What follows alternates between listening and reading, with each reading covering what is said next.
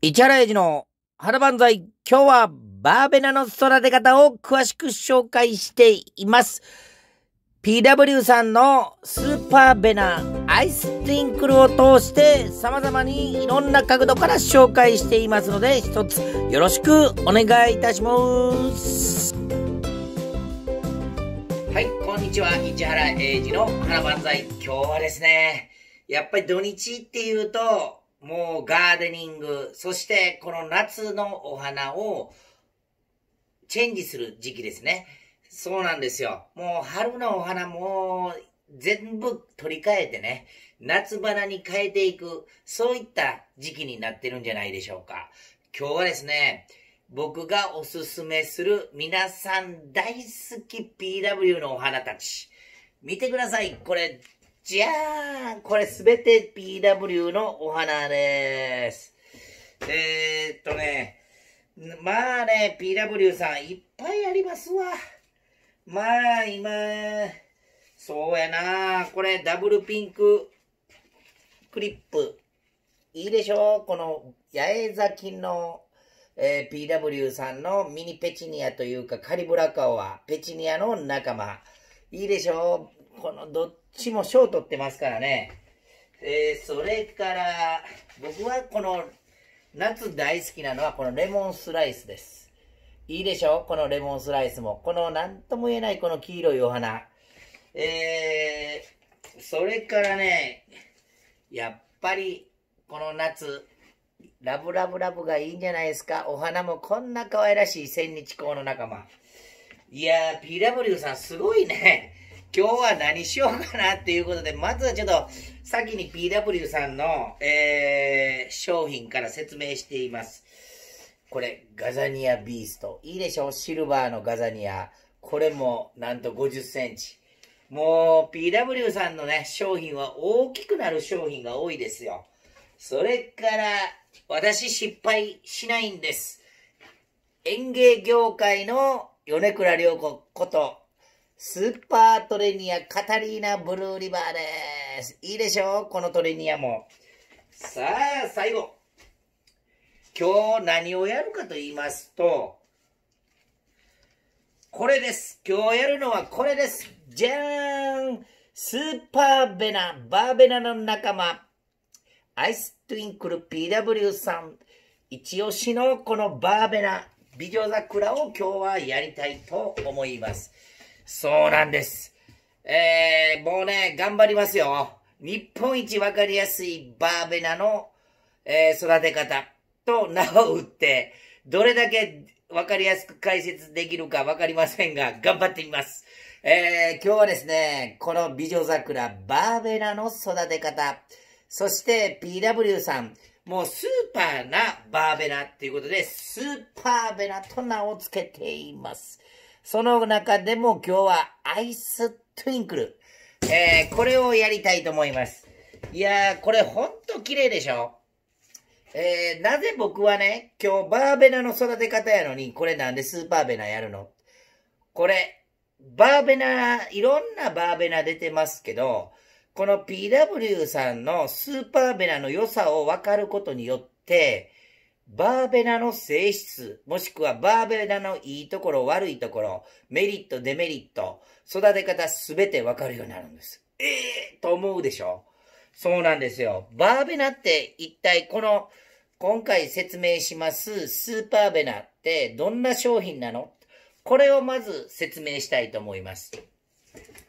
えー、このね、スーパーベナなんですけど、何が決定的な差が違うか、今までのバーベナと何が決定的な差が違うか。一番、花が大きいんですよ。そして、秋まで咲く。ええー、そうですよね。そして、雨、暑さ、病気に強い。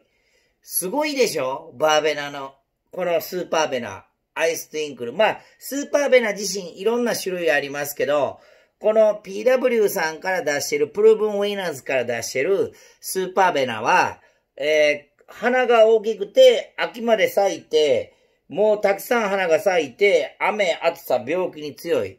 そうなんですよ。つまり、今までのバーベナというと、花が若干小さく、まあ花は咲きますよ。で、別名美女桜と言います。そしてハートの花びらに近い、こういったお花が咲く。これは同じなんですが、秋まで咲くんですかっていうと、出根バーベナであるとか、葉っぱの細いテネラ系とかは秋まで咲きますよ。ところが、えー、いつも春先に出てくるバーベナって、途中ね、雨に弱かったり、暑さに弱かったり、えー、病気、すぐもううどんこ病とか、もういっぱい出ますよ。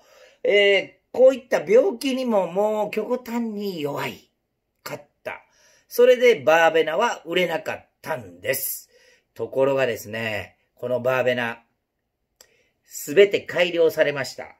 そうなんですよ。この、えー、スーパーベナのアイストゥインクルは、こういった形のすべて改良されたバーベナなんです。じゃあ今までどうしてたの？バーベナ育てる上で一番大事なこと。バーベナを育てるので一番大事なこと、今から言います。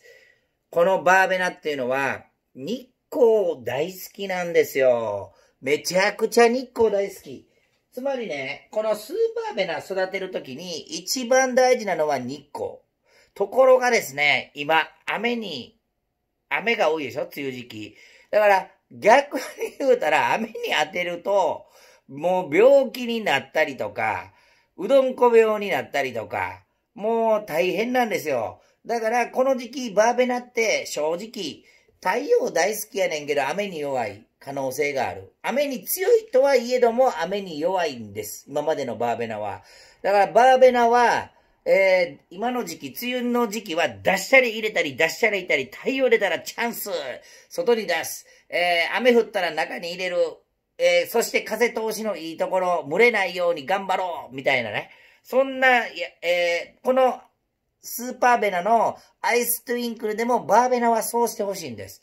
そしてですね、2番目、水はけの良い土と書いていますが、そうなんですよ。ちょっとこのトリックがありまして、えー、バーベナというと、うん、バーベナと言いますとですね、えー、これ、水はけの良い土に植えてくださいねとよく言われています。そうなんですよ。バーベナってね、やっぱり根腐れ起こしたりね、えー、もうとすぐ徒長してしまったりね、えー、もう本当病気が出たりとか、じゃあどうしたらいいのっていうことで、今までバーベナはめっちゃええ土に植えてたら結構バーベナって良かったんですよ。いろんな栄養系のバーベナでも、やっぱり雨に当たると真ん中が傷んだり、えー、こうね、傷んだりします。ところが、まあ、じゃあどうやって改善してたの？そうなんですよ。えー、このバーベナね、ここがチェックポイントなんです。えー、バーベナってね、酸性土壌は×なんです。あ、酸性土壌×。もしかしてそうなんですよ。これ、この僕の、えー、お話聞いてもらってたら、アジサイ編もずっと共通しているんですけど、日本っていうのは酸性雨っていう雨、もう非常に、えー、この酸性雨、酸性土壌になってしまうんですよ。えー、こ、ということで、まあね、アジサイでも酸性土壌になってしまうので、どうしても山あいでは青いアジサイになってしまうんです。これがヨーロッパと、えー、この日本の決定的な差。そうなんですよ。このバーベナって酸性土壌を嫌うという、ということはね、やっぱり雨に当てない方がいいんじゃないでしょうか。そうなんです。そして、えー、このバーベナ、一つ、あの、特徴がありましてね、えー、これ、出根します。つまり、これね、マイナス10度までいけるんですよ。ええー、ということは北海道でもいけるの？そうなんですよ。ただし、チェックポイントとして、来年、再来年生かそうと思ったら、絶対に、この水はけの良い土だけじゃなくて、いい土に植えてください。赤玉、腐葉土、カヌマ、まあ、あの、カヌマは酸性に近くなってしまうので、赤玉、腐葉土、パーライトなど、本当、て、えー、培養土も入れて、綺麗ないい土で植えてください。無菌状態の古い土、絶対ダメ。そして、そこに隠し味じゃないんですけど、駆動石灰、えー、すぐに混ぜて使える駆動石灰、もしくは流剤の駆動石灰でもパラパラ巻いていただきたい。これが、えー、バーベナを植え替えするとき、もしくは育てるときのチェックポイント。なんでか言いますと、来年も育ってくれるからです。どうしても古い土に植えちゃうと、バーベナ絶対ダメです。バーベナは結構デリケートです。もう本当にいい土で植えてください。これがもう一番最高の、もう今日一番大事なとこやと思ってください。そしてね、えー、ちょっとちらっと、えー、このバーベナの歴史的な背景を説明しますと、なぜこれヨーロッパでバーベナが人気かと言いますと、そうなんですよ。あの、ウィリアム・モリスであったり、これ、ピジョングラスと、これね、別名、クマツズラカと言います。そして、クマツズラカっていうのは、こう、縦に伸びるものであったり、横に伸びるものであったり、いろんなバージョンあるんですけど、これ、ピジョングラスとか、ピジョンミートとか、鳩が喜ぶ草、えー、であるっていうことで、あのー、なんとなく、そういった草っていうのは、やっぱりヨーロッパの絵に描かれたりとか、えー、いろんな絵画であったり、いろんな、えー、お花もさることながら好きな人が多いです。お花も可愛らしいですし、その立ち章で言えば、この三尺バーベラ、リギダであるとか、この今 PW で出してるね、メティオールシャワー、これいいよこれはいいです本当に今度メティオールシャワー特集しますけど、三尺バーベラ。これ本当いいです。そういった形でバーベナって結構ヨーロッパの人めっちゃ大好きなんですよ。もうね、あのー、絵に描かれたりするぐらいですから。あともう一個ね、めちゃくちゃ重要なことありまして、バーベナっていうのはもう神聖なお花であるって言われています。なぜならば、そうなんです。僕も昔日曜学校通ってましたが、イエス・キリスト。そうなんです。キリストさんがもう十字架にかけられるとき血が出てきてるんですよね。その時に、このバーベナ、実はハーブでもありまして、このキリストさんの血を止めたと。この、えー、バーベナを、あの、キリストさんの血出てるところにちょっとつけて、それが、えー、まあね、あの、血を止まったということで、もうヨーロッパの人でとってみては、もうこれ魔力のようなもんですわ。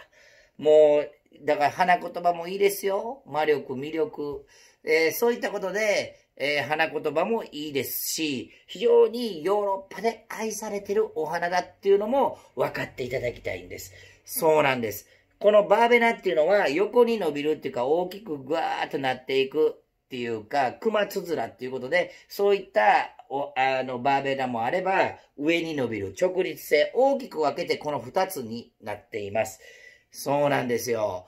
まあね、あのー、普通のボバーベナっていうのは、昔のバーベナっていうのはもうほったらかしで結構だったんですけど、この特に PW のスーパーベナっていうのは、長期間咲くことによって、何が大事かと言いますと、剪定と肥料がものすごい大事になってきます。なぜならば、このスーパーベナ、えー、とにかく秋まで咲くので、やっぱりこのハイポネックスさんであったり、いろんな、えー、まあ、このリン酸の多いね、肥料食いなんで、秋まで咲かそうと思ったら、もう水がわ、水をやるときに、この2週間に1回、1週間に1回でいいので、1000倍に薄めたハイポネックスやってみてください。やっぱり灰色が違います。あのー、葉っぱの色がね、大きく変わってきますので、えー、葉っぱ青々してるでしょ？このこれを見極めてほしいんです。そしてね、この雨の時期、えー、バーベナ、えー、前回の動画でも言いましたけども、もう雨が当たって、これはしょうがないです。ところが、これをそのままにしてほしくないんです。例えば、こういった悪いお花は先カットしてほしいんです。ええー、と思うかもしれないけど、これね、悪いお花はどんどんカットしてほしいんです。ええー、ともう、これも切っちゃったけども、あの、どんどんどんどん、カットしてほしいんです。こういった形で、もうどんどん悪いお花はもうカット。えー、その代わり、これ、まあ、どんどんまたカットしたとこからどんどんどんどん枝になって、花もたくさん咲いてくれます。そして、まあ、これ、もう言うたら怒られるけど、ちょっと内緒ね。本当内緒ですよ。内緒ですよ。あのー、言うたら怒られるけど、もうカットした時もったいないなって。これ、ちょっと髭があるでしょこれ、こっそり、ぴょーんとお庭に刺してみてください。思いっきり。やっぱりスーパーベナっていうことで、栄養系バーベナっていう名前のつくものっていうのは、やっぱり栄養繁殖していくんですよ。だから、このスーパーベナも、えー、もうダメになると思わないでください。必ず栄養繁殖。それで栄養系バーベナとも言われていますが、あのー、私失敗しないんですの代表選手。万が一、えー、このスーパーベナ、もうえらいこっちゃってなっても、もう綺麗に丸刈りしてください。私失敗しないんです。園芸業界の米倉良子ことスーパーベナなんです。こういうことでですね、今日はですね、あのー、このスーパーベナお伝えしてきましたけど、もうそういった形でもう一回おさらいします。このバーベナの育て方って言いますと、このスーパーベナ買ってしまったら、だいぶ楽ですけど、万が一スーパーベナ買えなくたとしても、バーベナってどんな植物なのっていうことで、これ分かっていただけたかと思います。今日はですね、えー、PW さんのおすすめ第1弾、えー、スーパーベナ、えー、アイストインクルをお伝えしました。えー、徐々にこの夏花特集ということで、もう PW さんのお花、どんどんどんどん、えー、説明していきますので、えー、こうご期待ください。あ今日はですね、この、えー、アイストインクルを見ながらお別れしたいと思います。いやー、綺麗なそれではですね、PW のお花たちを見ながら今日はお別れしたいと思います。